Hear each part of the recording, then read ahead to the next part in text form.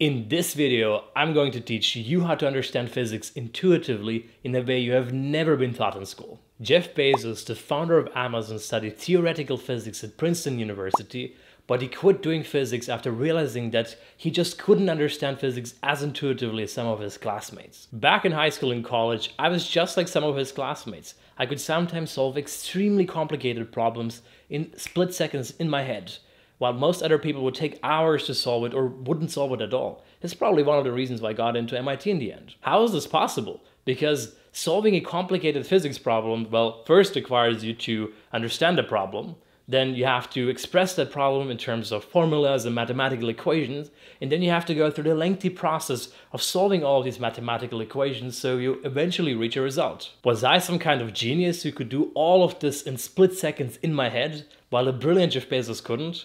Well, of course not. I mean, there's a trick here, a cheat code that I'm going to explain with an example. You're given a problem where you need to determine the initial velocity of a ball located here, flying through Earth's gravitational field so that it would pass through a ring horizontally located 14 meters away from you at a height of 3 meters. Assuming, of course, you can neglect air resistance, this problem isn't rocket science.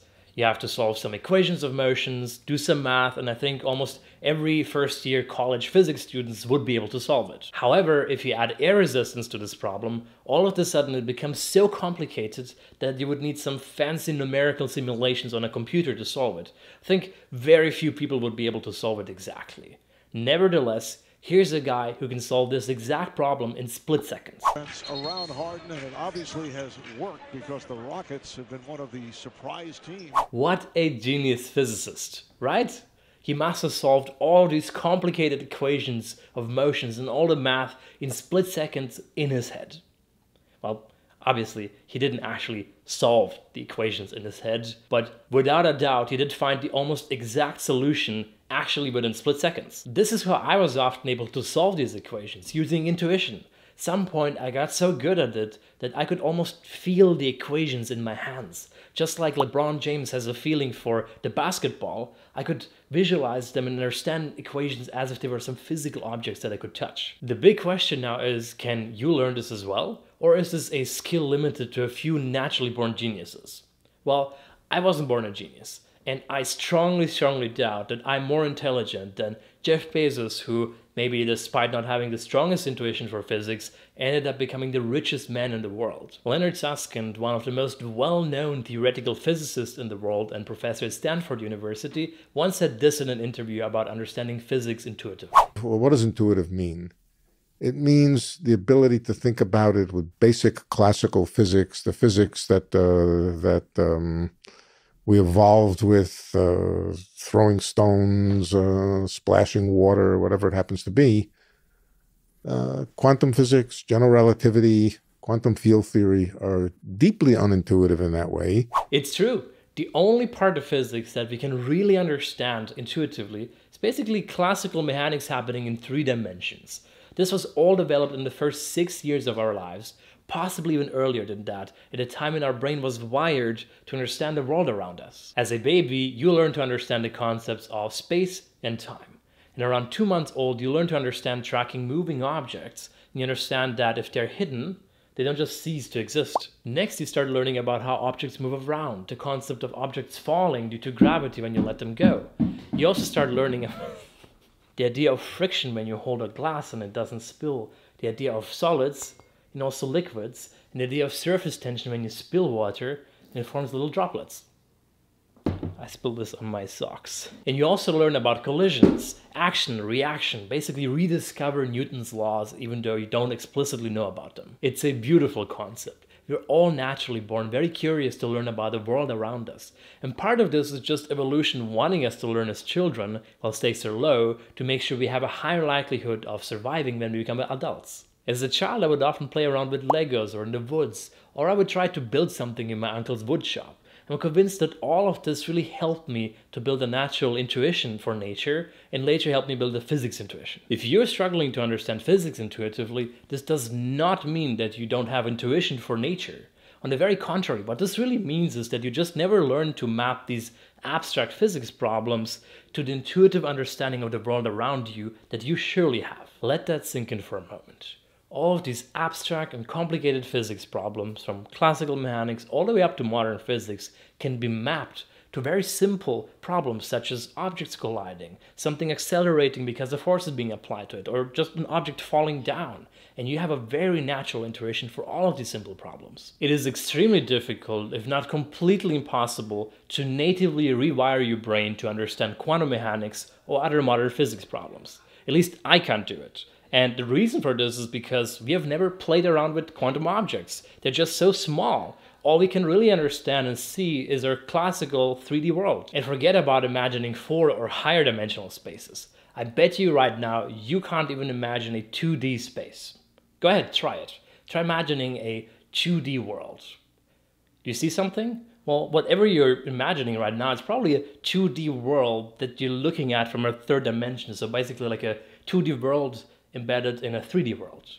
And imagining anything higher than that is completely impossible. And if you can somehow imagine a two or four dimensional world, go ahead and write it in the comment section. I'm really curious to hear that. Leonard Susskind, who was good friends with Richard Feynman, said this in a recent podcast. Me and many of my friends can think more easily quantum mechanically than we can classically. I just don't buy that. They may be way more intelligent than I am, but what I think they've become really good at is mapping quantum gravity, special relativity, or string theory onto simple classical mechanics problems, basically stuff that they've also learned just as babies. Now, how can you learn to do this?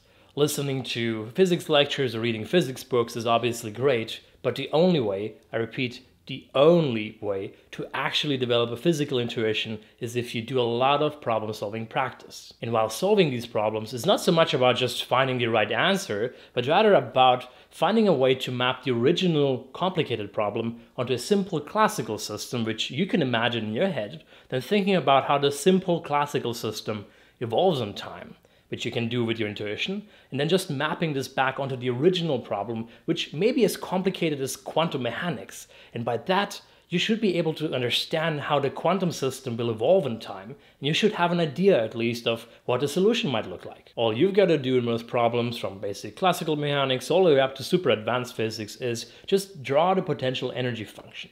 You can pretend it's a real hill with a particle sliding in it, or if it's easier for you, you can just pretend it's a roller coaster. Here's an example in quantum mechanics that I just came up with. By the way, you shouldn't focus on the actual solution in the quantum mechanics. The idea here is to understand the problem solving approach and how you map this complicated problem onto something classical and simple. I don't care if you're a high school student or a quantum mechanics PhD. The problem goes as follows. You're given some strange imaginary one-dimensional material, might look something like this, and it produces an energy field that behaves as follows. V of x equals x to the power of 4 minus 6x squared plus 2x plus 5. Why? Well, that was the first polynomial that Wolfram Alpha randomly generated. There's a particle inside here, let's just draw it. Here's a little particle, quantum particle to be precise, and the total energy of it is zero. So that's like the kinetic plus potential energy add up to zero. And the question is, what is the probability that the particle is going to be located at x equals 0. And again, don't panic if you have no idea what is going on here, that's completely fine. Now, what a bad teacher would do in this case is they would start writing down, if it were a classical problems, the equations of motions, basically the F equals ma equations. But this is a quantum system, so we don't need this. Instead, in a quantum system, you would start with what is called the Schrödinger equation, or more precisely, the time independent Schrödinger equation. A lot of fancy words. It looks like this. Well, but we don't care about any fancy math. We want to be able to map this problem to something that a five-year-old could solve. And a five-year-old definitely wouldn't be able to handle a Schrödinger equation. So, how do we do this? Well, the first step would be to plot the energy landscape. So let's start with that. So a plot like this, even though it's not very pretty, is a good first step in visualizing something. However, the energy landscape on its own is still not something very intuitive. We don't intuitively understand energy. However, what if I told you that you can just imagine that this energy landscape is a real physical kind of hilly area or if you want, you can imagine it's kind of a roller coaster and you're just riding a roller coaster on these curves. So let's do that. Let's put a roller coaster on this. Okay, so this red little square over here is supposed to be a roller coaster. a great artist. And the idea of energy being zero essentially just means when it's at zero height, as it is right now, that it's standing still, not moving. So now imagine if this was an actual roller coaster and you would start swinging this down, it would start accelerating down here, go really fast, and it would slow down and stop here. And assuming there's no friction, it would just keep going back and forth and back and forth forever. The other option though is that the roller coaster might be placed over here with zero energy again, then it might be swinging around here, like back and forth, back and forth. But essentially, these are the only two places where it can be. And just by looking at this, you already know intuitively, even if you were a child, that there's no way for the roller coaster to just suddenly swing up here without you giving it an extra push, which means some extra energy. And just like that, we've basically solved the problem. Because if the answer is that a roller coaster can't get up here, it can only be in this area or in this area, that essentially means, well, the quantum problem has the same solution. The probability of the roller coaster being at zero, or in this case, the quantum particle being at x equals zero, is precisely equal to zero. Obviously, if you know nothing about quantum mechanics, there was no way for you to know that you could map one of these problems into a roller coaster problem, but that's the whole point of learning physics. One little thing though is that not everything exactly translates. So for example, in quantum mechanics, in reality, it's obviously impossible for the roller coaster that is stuck down here to somehow get over here and being stuck there. While in quantum mechanics, there exists something called quantum tunneling, where a particle can actually get from this region through this kind of forbidden, impossible region over here, something called quantum tunneling, but nothing for you to worry about at this point. These potential energy plots or energy landscapes, as they're more commonly referred to, are incredibly powerful. It's all about energy conservation. They appear over and over again, anything from classical physics all the way up to the most complicated modern physics. The really big mistake that almost everybody makes is focusing on too advanced problems too early on. If you watched my video on understanding math intuitively, you might remember my comparison between skills and tools. Every new math or physics formula that you learn is basically like a new tool in your toolkit. And if you learn a lot of advanced formulas, you basically got yourself a master set of tools. But they're all kind of useless because, let's face it, you have no idea how to use them. What you really need to focus on is the most basic tools, some basic Newton's equations, and maybe the intuition of a child. These are basically the hammers and the screwdrivers of modern physics. And as you just saw, I basically just solved a quantum mechanics problem by using nothing other than these tools. And once you master these basic tools, you can move on and add a new tool to your toolbox. But always make sure to practice so much to become a pro at using these tools before adding a new one. You basically have to become excellent at mapping complicated physics problems to simple tools that you have in your toolbox. And that is what I call physical intuition. Now, that was some good theory, but it is worth almost nothing without you actually putting it to practice. There exists a lot of great resources depending on your personal background, how much physics you know, and your personal way of studying. If you're either in college studying physics, or maybe you're a super advanced high schooler, then the following resources are going to be great for you. If you're a little bit more into introductory stuff and don't want to go so difficult so quickly, then skip ahead to this timestamp because there I'm going to show you all the good stuff for beginners. If you're looking for a balanced approach between some theoretical physics, some experimental physics, and obviously some math behind the physics, then I strongly recommend MIT's introductory level physics lectures taught by Professor Walter Lewin. Walter Lewin is an absolute genius when it comes to teaching. I've never in my life seen someone teach with so much passion and effort. For this reason, I'm going to treat you with a few interesting moments from one of his last lectures. And that way you can demolish a building. I trust the conservation of mechanical energy for 100%.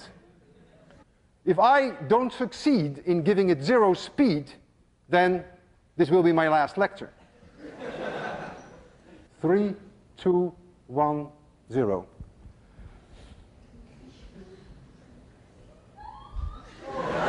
If you're really into understanding theoretical physics intuitively, I highly recommend Professor Leonard Susskind's lectures from Stanford University. It's called The Theoretical Minimum. It's available online and it ranges from anything from classical mechanics, quantum mechanics, general relativity, cosmology, and if you're super into hardcore advanced stuff, you can even check out the supplemental courses including, well, the Higgs boson, entanglement, supersymmetry, string theory, and all sorts of crazy stuff that I certainly don't understand, and I think worldwide very, very few people have ever understood. A little warning though about Leonard Susskind's lectures on the theoretical minimum, they're very theory focused. They're not going to get you to your next exam. Their whole purpose is to walk you through theoretical physics in an intuitive way without excessive mathematics. If you're not really the person who likes online lectures and prefers either a physical book or reading some papers, then you should definitely check out the Feynman Lectures of Physics. Yes, as the name suggests, they were taught by the actual professor Richard Feynman at Caltech many years ago. Goes through mechanics, electromagnetism, and quantum mechanics. And yes, here's a picture that's Richard Feynman teaching them themselves. So they're super focused on intuition, so much in fact that some people say the lectures are a little bit hard to follow, but if you manage to do it, you're going to develop a great intuition. And as I said, just listening to lectures or reading physics books isn't enough unless you actually convert this into problem solving practice. Now, there are tons of resources online. One of my personal favorite is from a Soviet physicist called Irodov.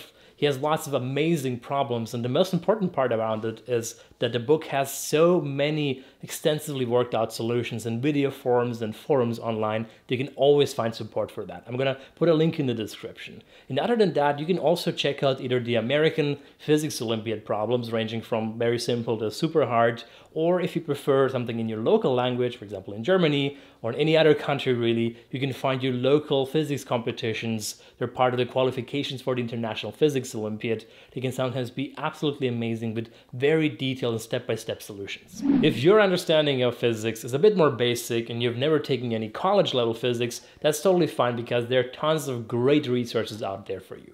However, sadly, very few of them are actual school textbooks. One of my favorite platforms who are great for learning physics and science intuitively is Brilliant.org who kindly agreed to sponsor this video. If you don't know yet, Brilliant is an amazing platform to learn math, programming, and science in general very intuitively and interactively, ranging from very beginners levels all the way up to advanced. I highly recommend checking out their lecture series on scientific thinking and advanced physics.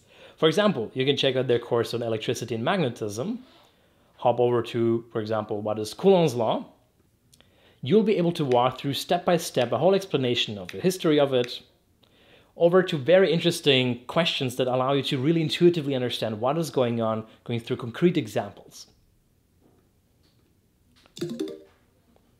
Their lectures are also full of interactive animations such as these ones over here that allow you to play around with the problems and really get an intuitive understanding for what is going on.